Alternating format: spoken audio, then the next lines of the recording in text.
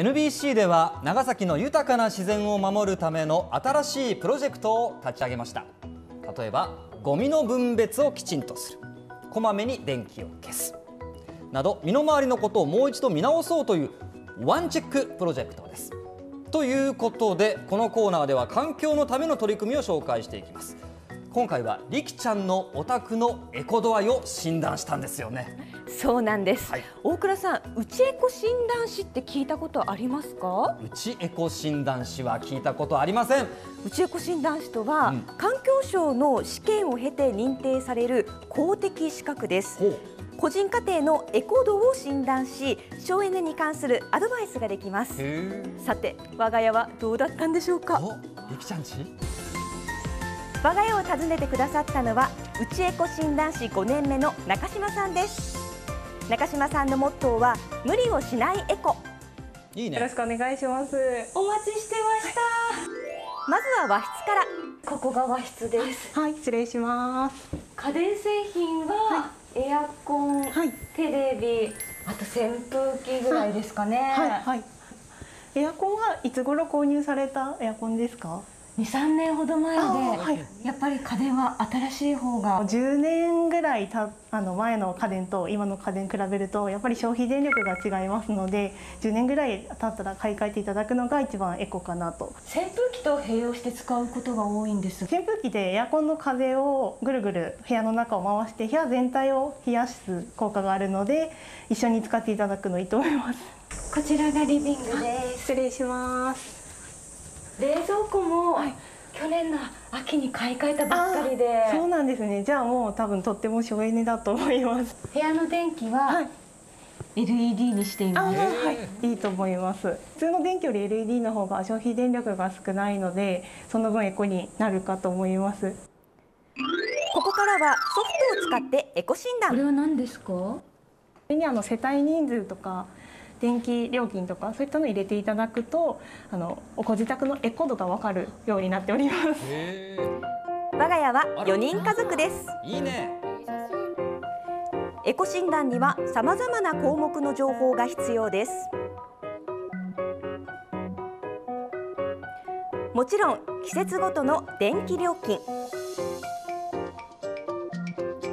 さらに冷暖房の設定温度や使用時間も入力します。あなたのご家庭は長崎県100世帯あったとするとうん。32です。これは喜べますかどうですか？一応あの50位が平均ということになりますので平均よりはあのエコな家庭ということになります、えどのあたりが評価されたんですか？電気代が4人世帯だと1万円超えてるのがまあ平均点というふうに出ててまあそれよりちょっと低いかな。ガス代はちょっと平均よりは高い。車の燃料代が5000円ぐらいこれ出てるんですけど3000円なので。冷蔵庫とかエアコンとか結構変えられてたのでそれもあの電気代減ってる分大きいと思います。